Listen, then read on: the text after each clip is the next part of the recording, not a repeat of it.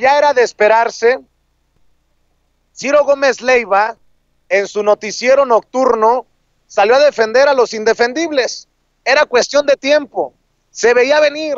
Ciro Gómez Leiva defendió a Eduardo Medina Mora, el hoy exministro quien renunció a la Suprema Corte de Justicia de la Nación.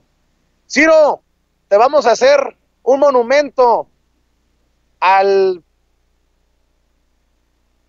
Vamos a ver lo que dijo Ciro. ¿A qué jugó hoy Eduardo Medina Mora? ¿A qué jugó un hombre con su experiencia política?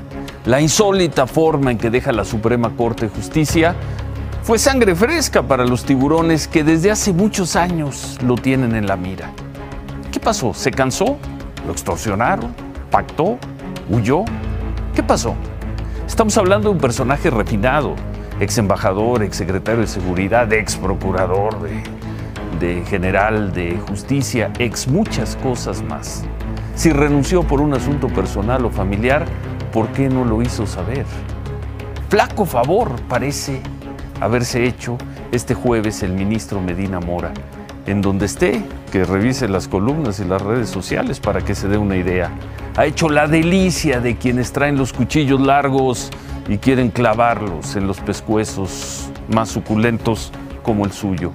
Flaco favor le hizo a la Corte, flaco favor a la vida pública en los tiempos de la Cuarta Transformación y con los datos disponibles hasta este momento, parece que flaco favor se ha hecho a sí mismo.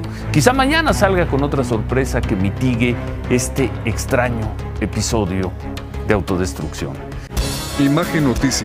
Ay, pobrecito. Eduardo Medina Mora va a ser víctima, carnada de los tiburones que le intentan clavar cuchillos en los suculentos cuellos. Qué poético te pusiste, Ciro, para defender a los malandros. Síguele así, vas bien, vas invicto, Ciro.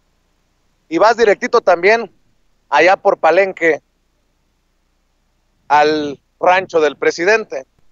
Y directito también al basurero de la historia del periodismo como uno de los personajes más nefastos de los medios de comunicación.